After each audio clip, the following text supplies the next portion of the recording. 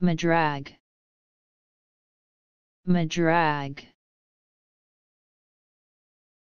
A large fish pound used for the capture of the tunny in the Mediterranean, also applied to the seines used for the same purpose.